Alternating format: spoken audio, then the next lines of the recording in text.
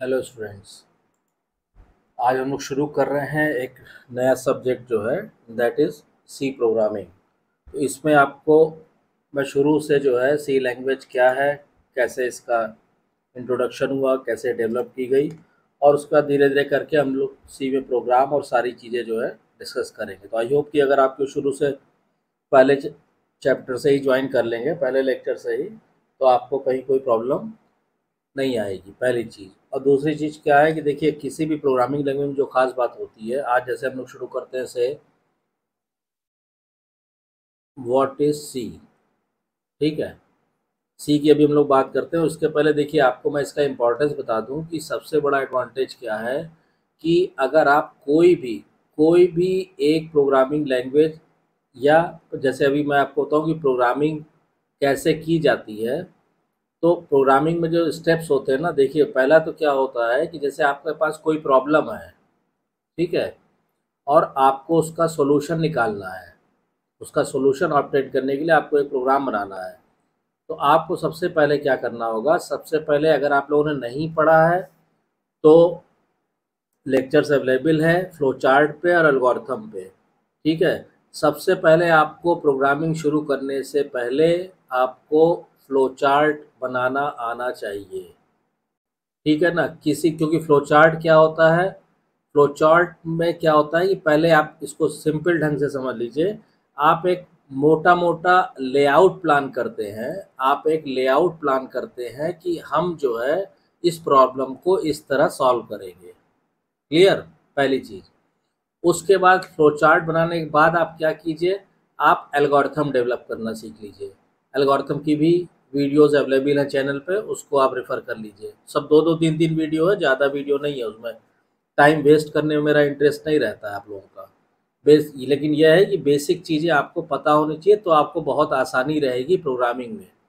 क्योंकि प्रोग्रामिंग देखिए, जैसे आजकल तो बहुत बढ़िया चीज़ हो गई है, कोई कहता है एक घंटे में प्रोग्रामिंग सिखा रहे हैं, कोई कहता है सौ सेकेंड में सिखा देंगे।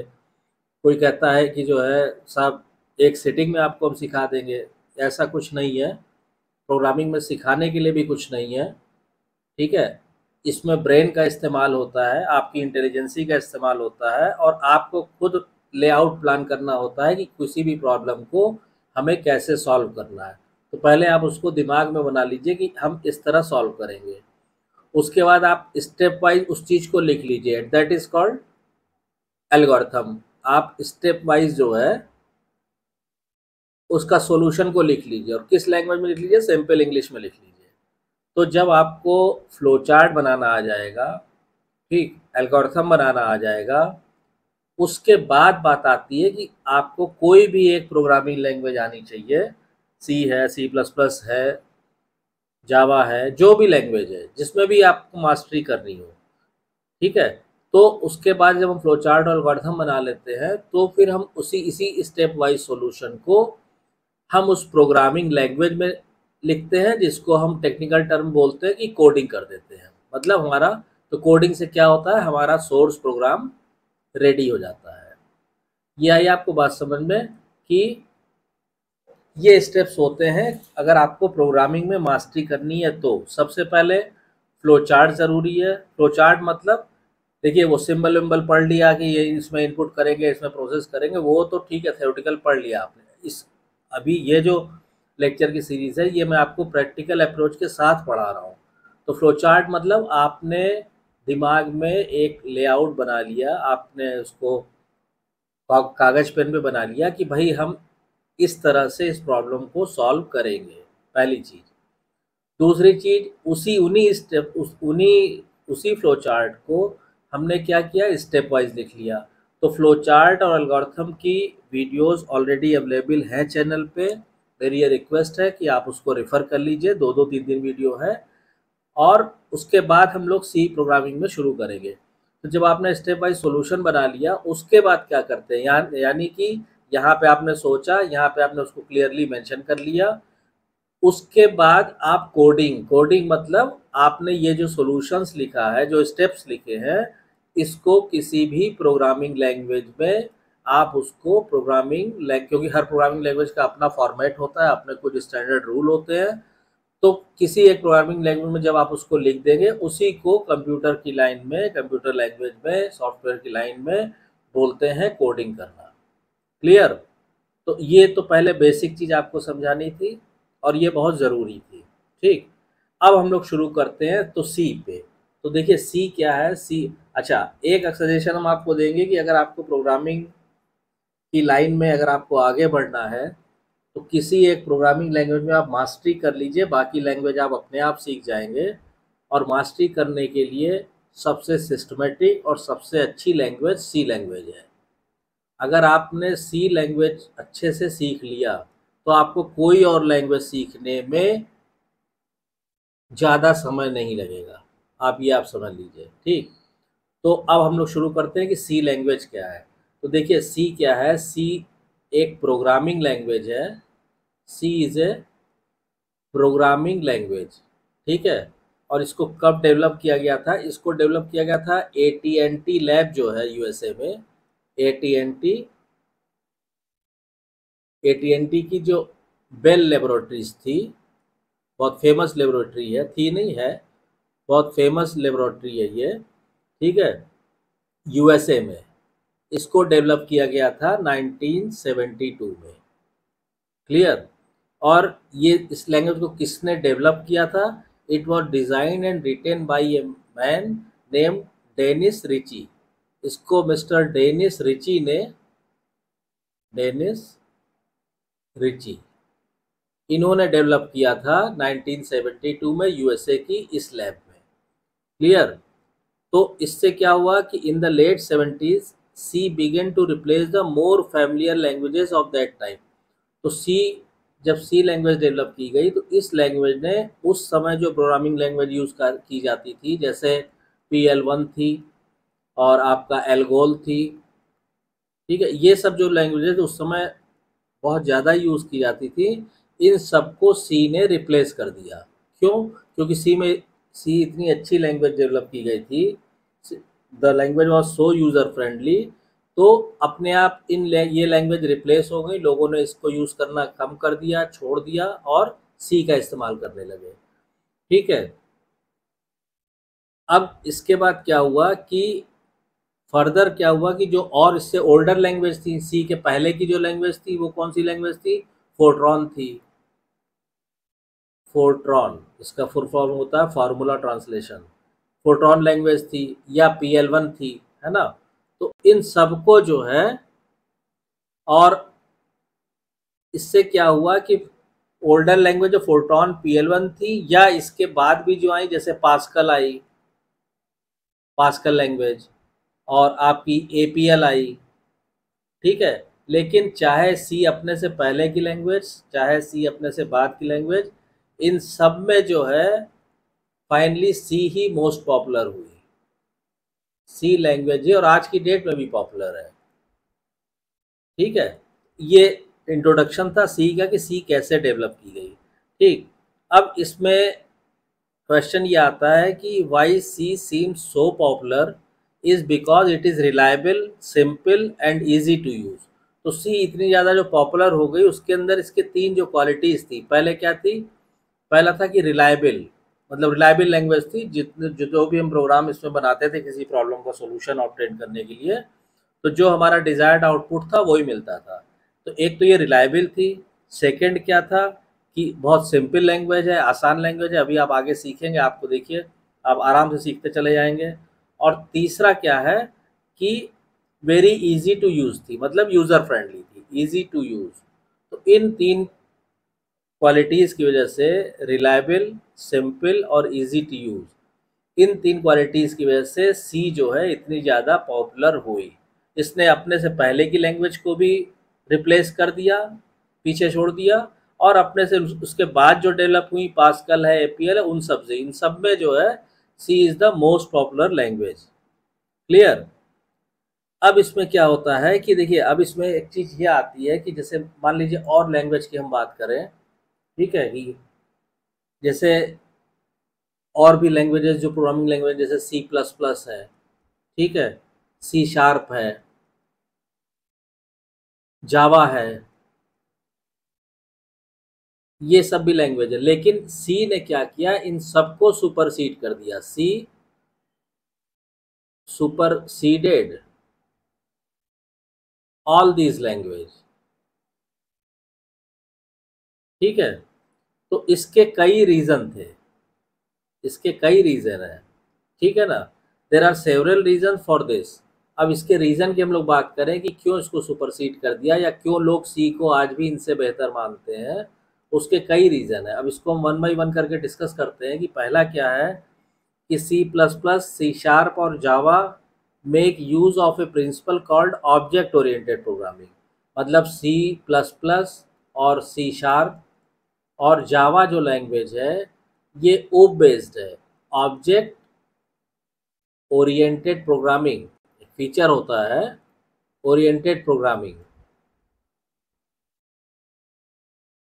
ठीक है तो ये जो तीनों लैंग्वेज है, ये object oriented programming principle use करती हैं प्रोग्राम को ऑर्गेनाइज करने के लिए. To organise a program organise a program जबकि सी में ऐसा कोई प्रिंसिपल नहीं यूज़ होता है। ठीक? अब इसमें क्या है कि this organising principle has lots of advantage to offer but even while using this organized principle, one would still need a good hold over the language elements of C and the basic programming skill. तो देखिए, C plus plus C sharp या C hatch बोल लीजिए, या जावा ये सब जो language थी, ये ऊप बेस्ड थी ऑब्जेक्ट ओरिएंटेड प्रोग्रामिंग को ही शॉर्ट में ओ ओ पी लिखते हैं, लेकिन इस प्रिंसिपल को यूज़ करने के बावजूद भी ये देखा गया कि यूज़र के पास सी की बेसिक प्रोग्रामिंग स्किल होना ज़रूरी है। बेसिक प्रोग्रामिंग स्किल सी की बहुत ज़रूरी है, उसके बाद तभी वो इन लैंग्वेजेस को अच्छी तरह से इस्तेमाल कर पाएगा। ठीक है तो इसीलिए क्या एडवाइस की जाती है कि सबसे पहले आप सी लैंग्वेज सीखो उसके बाद चाहे आप सी प्लस प्लस कर लो, चाहे आप सी हैश कर लो शार्प कर लो, चाहे आप जावा कर लो, चाहे आप सी के बाद आप ये तीनों कर लो, कोई दिक्कत नहीं। But firstly as a beginner ठीक है, आपको सी लैंग्वेज अच्छे तरीके से आनी चाहिए। ठीक है, हालाँकि इसमें आप ये कहोगे कि सब जो है टाइम ज़्यादा बर्बाद होगा, पहले हम सी सीखें, फिर सी प्लस प्लस सीखें, बात आपकी सही है, लेकिन टाइम बर्बाद नहीं होगा, क्योंकि सी की अगर आपने प्रोग्रामिंग स्किल अच्छे से डेवलप की हुई है तो आपको सी प्लस प्लस सीखने में थर्टी परसेंट टाइम लगेगा। आप ये समझ लीजिए। अगर वैसे नॉर्मली आपको सी प्लस प्लस अगर आप डायरेक्ट सीखने जाते हो और आपको सौ दिन लगते हैं और आप सी सीखने के बाद आप सी प्लस प्लस या सी शार्प या जावा आप करते हो तो सौ की बजाय आपको पच्चीस तीस दिन में ही आप सी प्लस प्लस में आपकी मास्टरी हो जाएगी। तो इसीलिए ये एडवाइस किया जाता है कि सी लैंग्वेज जो है, सबसे पहले आपको सीखनी चाहिए और उसको, उसमें अच्छी स्किल आपको डेवलप कर लेना चाहिए, ठीक? तो एक तो रीज़न ये हो गया। सेकेंड रीज़न जो है, अब सेकेंड रीज़न पे आ जाइए सी की पॉपुलरिटी वैसे सेकेंड रीज़न क्या कहता है कि major parts of popular operating system like Windows Unix Linux Android are written in C तो जनरली जो मैक्स जो जनरली यूज़ ऑपरेटिंग सिस्टम है कौन कौन से, जैसे विंडोज़ हम सब मैक्सिमम हम हम सब लोग विंडोज़ यूज़ करते हैं यूनिक्स यूज़ करते हैं लिनिक्स यूज़ करते हैं, ठीक है? और आपका एंड्रॉयड यूज़ करते हैं, ठीक है? ये सारे ऑपरेटिंग सिस्टम किसमें लिखे गए हैं? They are written in C language ठीक है? तो इसलिए and this is because even today one come to performance, speed of execution, nothing beat C. तो ये लैंग्वेज इसीलिए, ये ऑपरेटिंग सिस्टम इसीलिए सी लैंग्वेज में डेवलप किए गए हैं कि आज के समय में भी जब परफॉर्मेंस की बात होती है, परफॉर्मेंस परफॉर्मेंस प्रोग्राम की किससे नापी जाती है? स्पीड ऑफ़ एग्जीक्यूशन, कितनी तेज़ी से, how fast, speed of execution. तो आज आज की डेट में जब स्पीड ऑफ़ एग्जीक्यूशन की बात होती है परफॉर्मेंस ऑफ़ ए प्रोग्राम की बात होती है तो सी से बेटर प्रोग्राम और किसी का, और सी से फास्ट और किसी का प्रोग्राम नहीं रन करता है। तो nobody can beat C even on today तो इसलिए if one is to extend the operating system to work with new devices one needs to write device driver program this program are exclusively written in C मतलब कि ये तो Android ये तो हमने आपको ऑपरेटिंग सिस्टम का बता दिया। इवन इसके अलावा, जब आप किसी, जब आपने कंप्यूटर के साथ कोई डिवाइस कोई ड्राइव डिवाइस आप अटैच कर रहे हैं तो उस डिवाइस का आपको डिवाइस ड्राइवर प्रोग्राम भी इंस्टॉल करना होगा। और ये डिवाइस ड्राइवर प्रोग्राम सी में लिखे जाते हैं। ठीक? तो इसलिए भी सी आपके, मैं आपको खाली ये बता रहा हूँ कि सी आज के समय में भी लर्न करना कितना एडवांटेजियस है, कितना बेनिफिशियल है। अदरवाइज़ तो आज के समय में आप सुनेंगे कि ये सीख लो, वो सीख लो, वो सीख लो, बोले, सी, अरे, वो तो पुरानी हो गई। हाँ सी कुछ पुरानी नहीं अभी आप देखिए, आप मेरे साथ इसको करिए, ठीक है? आप एक लैंग्वेज आप अच्छी तरह से सीख लेंगे, उसके बाद किसी दूसरी लैंग्वेज को सीखने के लिए आपको 10 से 15 दिन से ज़्यादा समय नहीं चाहिए होगा, ठीक है? अब तीसरा इसका जो रीज़न है सी की पॉपुलरिटी का, वो ये है कि mobile devices like smartphone and tablets have become rage of today मतलब आज के समय में आप देख रहे हैं कि maximum her everyone is using smartphones and tablets मतलब ये तो एसेंशियल और डेली लाइफ में चीज़ें आ गई हैं। इसके अलावा कुछ कंज्यूमर डिवाइसेस हैं, जैसे माइक्रोवेव ओवन है वॉशिंग मशीन है डिजिटल कैमरा है, वो भी दिन पर दिन और स्मार्टर होते जा रहे हैं। ठीक है? ये तो आदमी यूज़ कर ही रहा है। उसके अलावा जो कंज्यूमर डिवाइसेस हैं, जैसे हम बात करें माइक्रोवेव ओवंस की, वॉशिंग मशीन्स की और डिजिटल कैमरा की। तो ये सब भी चीज़ें यूज़, पहले भी यूज़ होती थी, अब भी हो रही है, लेकिन अभी क्या है कि ये जो डिवाइसेस हैं, ये दिन पर दिन स्मार्टर होते जा रहे हैं। मतलब डेली बेसिस पे उसमें नए स्मार्टर, नए फीचर्स आते जा रहे हैं और उनकी परफॉर्मेंस और ऑप्टिमाइज हो जा रही है। ज़्यादा से ज़्यादा यूज़र फ्रेंडली होते जा रहे हैं, ये सारी चीज़ें।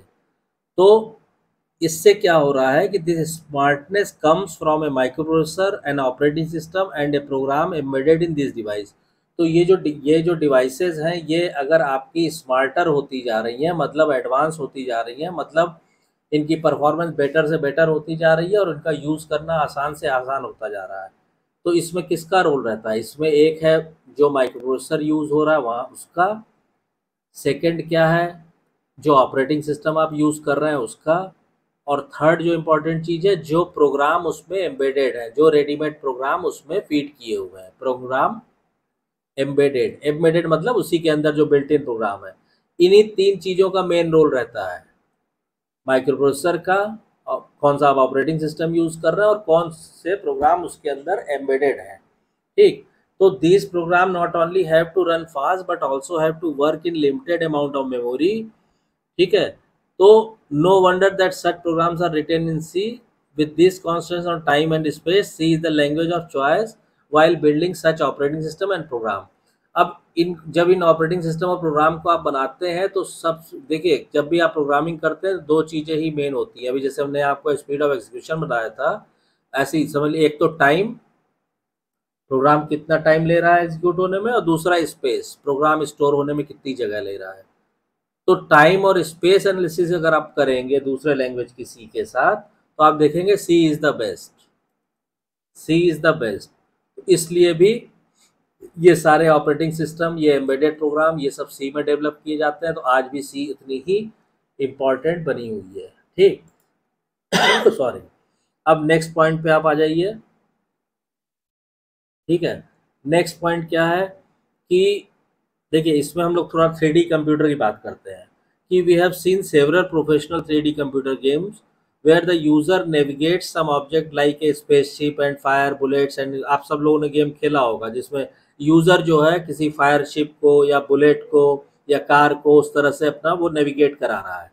तो the essence of all such games is speed देखिए, फिर इसमें स्पीड आ गई।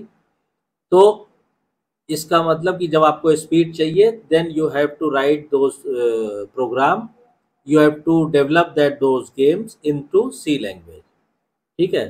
तो फिर जहाँ भी स्पीड की बात आएगी सी लैंग्वेज का आपको कोई रिप्लेसमेंट नहीं मिलेगा। तो इस वजह से, ठीक? और पांचवा और जो लास्ट टॉपिक है कि at times one is required to very closely interact with the hardware devices since C provide several language element that make this interaction feasible मान लीजिए अगर कभी ऐसा ज़रूरत पड़ता है कि यूज़र जो है हार्डवेयर डिवाइसेस से हार्डवेयर डिवाइसेस से इंटरेक्ट करना चाहता है, ठीक है? तो यूज़र का हार्डवेयर से कनेक्शन या इंटरेक्शन प्रोवाइड करने के फीचर्स सबसे बढ़िया सी लैंग्वेज में ही दिए हुए हैं। C provide several language element that make this interaction feasible without compromising the performance ठीक it is the preferred choice of the everyone तो देखिए, ये जो पाँच पॉइंट हमने आपको बताया कि सी आज के समय में भी प्रेजेंट डेट में भी इतनी पॉपुलर क्यों है? और जो लोग कहते हैं कि, अरे भाई, ये ऑब्सोलीट लैंग्वेज है और हमको तो जावा आती है, हमको तो फला आता है, हमको टेक्मा बोली कि सही है। लेकिन अगर मुझे सी आती है तो I can learn any other language within few days ठीक है? और बाकी सी की जो इम्पोर्टेंस है, वो हमने आपको डिस्कस कर दी। तो अब आज के बाद कोई आपसे कहे कि सी पुरानी हो गई है तो उसको ये पॉइंट इन्हीं पॉइंट्स पे आप उनसे डिबेट कर सकते हैं। ठीक? तो ये बेसिक हमने आपको ब्रीफ डिस्क्रिप्शन दे दिया कि why still C language is केवल आप, जैसे कई स्टूडेंट्स का क्या रहता है कि, अरे सर सी तो पुरानी हो गई, तब भी हमारे सिलेबस में पढ़ाया जा रहा है। सी पुरा, पुरानी होगी तब भी गेट के कंपटीशन में उससे क्वेश्चन पूछे जा रहे हैं। सी प्रोग्रामिंग होगी तब भी आई है उसमें सिविल सर्विसेज़ में पीएसयू में जहाँ भी है। ठीक है? तो वहाँ पे सी के क्वेश्चन आ जाते हैं। भाई सी बहुत इंपॉर्टेंट लैंग्वेज है, ये आप समझ लीजिए।